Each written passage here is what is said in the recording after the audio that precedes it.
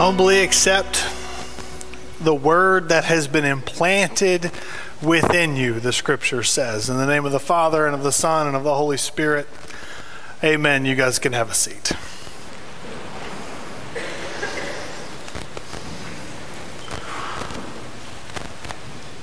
Generation loss is the uh, steady diminishing of quality that happens anytime you make a copy of something. You know, a copy is never as good as the original. Nothing's as good as an original. So when you make a copy, some of the details of what you're copying uh, get lost in transfer. And so the more copies you make, when you make a copy of a copy of a copy of a copy of something else, sooner or later that generation loss becomes so overwhelming that you can barely read what it is that you wanted to copy uh, to begin with. In John chapter 16, Jesus is spending the last night that he's going to have on earth with the disciples before he goes to the cross. And what he tells them over the course of a lot of chapters is that things are about to change for them. That the way that Jesus teaches and the way that Jesus guides them through their life is about to change uh, forever. He says in John chapter 16 and verse 6, he says, None of you is going to ask me where I'm headed because you're too upset. You're grieving that I'm going. But I tell you, it's for your good that I'm going away. Because unless I go, the advocate, the Holy Spirit, can't come upon you, can't uh, implant within your lungs Skipping ahead to verse 12, he says, I have so much more to teach you. I've got more than you can bear uh, at this point in your life and your discipleship journey. But I tell you that when the advocate comes, when the Holy Spirit comes, he's going to slowly, steadily, and surely guide you into all truth. You know, the truth is that Christ Jesus is just as present with us today as once he was with the disciples. The Bible says in 1 Corinthians chapter 3 and verse 16 that our bodies, ourselves, the core of our being is the temple of God, that the Holy Spirit makes his home with us. In Galatians chapter 5 and verse 16.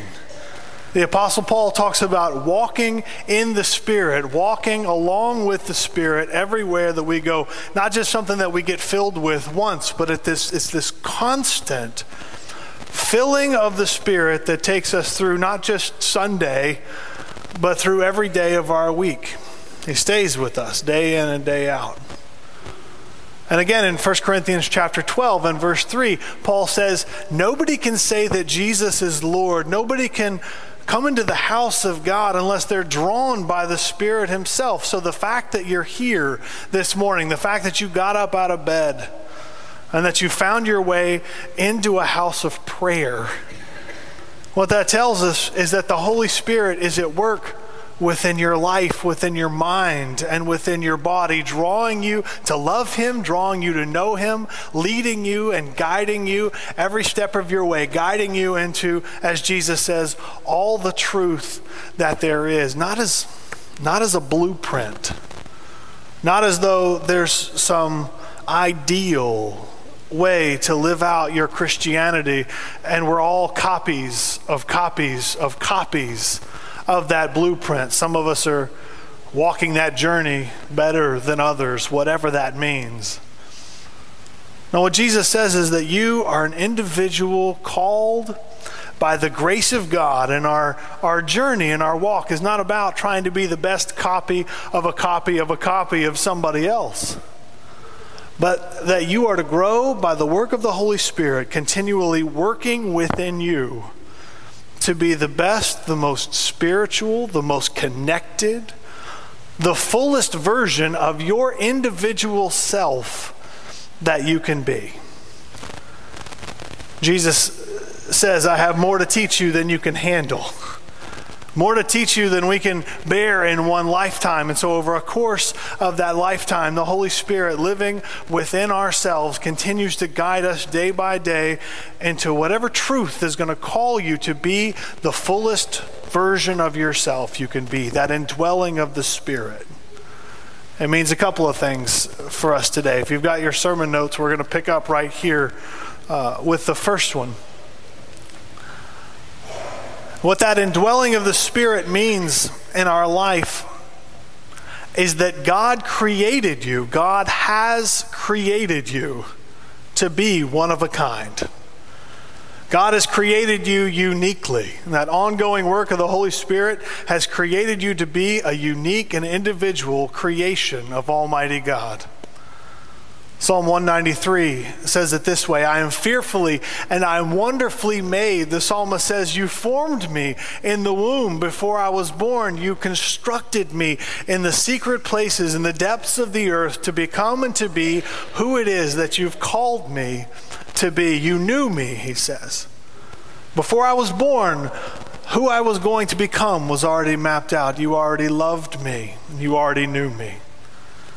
Not as a series of labels, by the way, that other people uh, put on you, the way we compare ourselves to other people who bear those same labels, labels, but as a unique and individual creation of God. In Galatians chapter 5 and verse 15, God says, I called you by my grace, by your name. Before you were born, I knew you, and I put my name on you. And I called you to be my child. You know, I keep this copy of uh, my favorite painting in the world. This is Rembrandt's Return of the Prodigal Son. Can you see this? This has been hanging in my office for as long as I can remember, and it's not, it's not a, a great print. There's a little generation loss in here because it's not, uh, obviously, it's not the original. It's a copy of a copy of a photograph of another copy of a print that somebody took at one point uh, that cost me $6 on Amazon.com. And what you can't see in this print that you can see in the original is that there's another figure back here in the corner. There's another person uh, over the father's shoulder. I had a friend of mine, it's on the front of your sermon notes if you want to take a look at it. I had a friend of mine who went to see the original at a hermitage in St. Petersburg a couple of months ago. And he took a, a, picture of the original print and he had it printed up for me. It's a little small, so I couldn't uh, hold it up here for you this morning. But what you can see in the original that you can't see in the print is that the figure standing over here in the corner, over the father's shoulder, is the prodigal's mother. She's standing, uh, I can imagine, wondering if his return is for real or being overjoyed that her son has come back to her one way or the other. You know, I just, I never noticed her because I've been staring at a print for too long. You know, you can do that with an original. You can compare a print with an original painting and see what's different about them, see which one is quote, better, whatever that means. You can do that with two copies of the same painting. You can compare the original to a print, but you can't compare, for example, two paintings that are supposed to be different to begin with.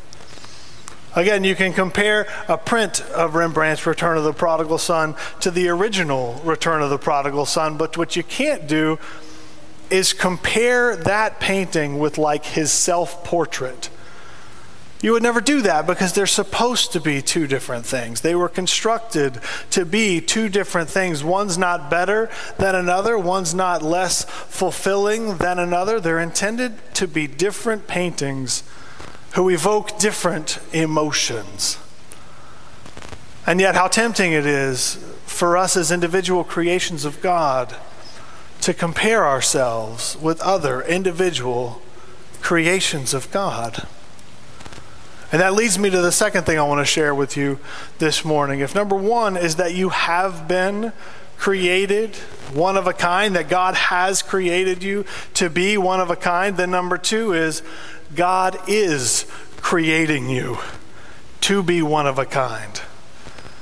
You are God's ongoing creation, and through the work of the Holy Spirit that is working on you right now in this moment and every day of your life, God is creating you to be unique.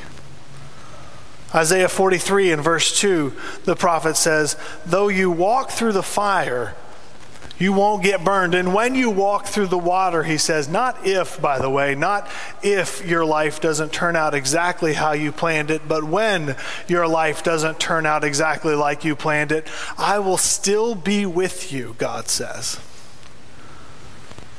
You know, Jesus in John chapter 20, after he was raised from the dead, this is the resurrected Christ Jesus, in the fullest imagination of his resurrected glory, when he comes and he stands in the upper room with the disciples two weeks in a row, you notice the same thing about Jesus. The perfected and resurrected Jesus still bears the wounds of the cross. They're not scars, by the way. You can't put your hand into a scar. You can't put your hand into the scar that a spear makes. These are still wounds to Jesus. He still bears the wounds of the cross. And I'm going to say this to all of you guys uh, this morning, but particularly uh, to those of you who are mothers, who are grandmothers, who are raising children, who want to be raising children, some of you this morning are carrying unique wounds that are brought to you by your one of a kind children. Some of you guys this morning may know what it is to bear the wound of losing a mother. Some of you this morning may know the wound of losing motherhood. And what Jesus says to each of you in this sacred space when he says to you, I have much more to teach, much more than you can bear in one sitting. But when the Spirit of truth comes, he will guide you over a lifetime into all truth. What that means is when our life doesn't turn out the way that we had planned it, you know, when we know what it is to be wounded, either through miscarriage or for the loss of a grandparent, or not knowing what it is to be a mother and wanting so deeply to have that life experience. What Jesus says to us is that I am still creating you every day of your life. You know, Martin Luther said it this way, and I love it when he talks like this. He said, I know that I'm not what I ought to be but I'm also not what I used to be. And I'm also not who by God's grace I will become. Y'all, this morning I'm going to say this and then we're going to close in prayer. There's nobody to compare yourself to. There's nobody who has the same life experience that you do. There's nobody for you to stand next to as a blueprint and decide whether you're a copy of a copy of a copy of something else with whatever generation loss you feel insufficient. You know, nobody nobody posts pictures of themselves covered in food stains and crying in a corner on Instagram. All of those comparisons that we hold in our hearts what Jesus says to us today is we can let those melt off of us because you're not a copy of a copy of a copy of someone else. You are the only fearfully and wonderfully made one of you that there is. The creator of heaven and earth and the one who called the universe into being created you individually and knew you before you were born. He called you by name. He set you apart and called you by grace to be His own, to be His beloved Son, His beloved daughter. You're the only one of you that there is. There's nobody to compare yourself to. God loves you. He loves you as you are, and He loves you as He is creating you to be. Let's pray.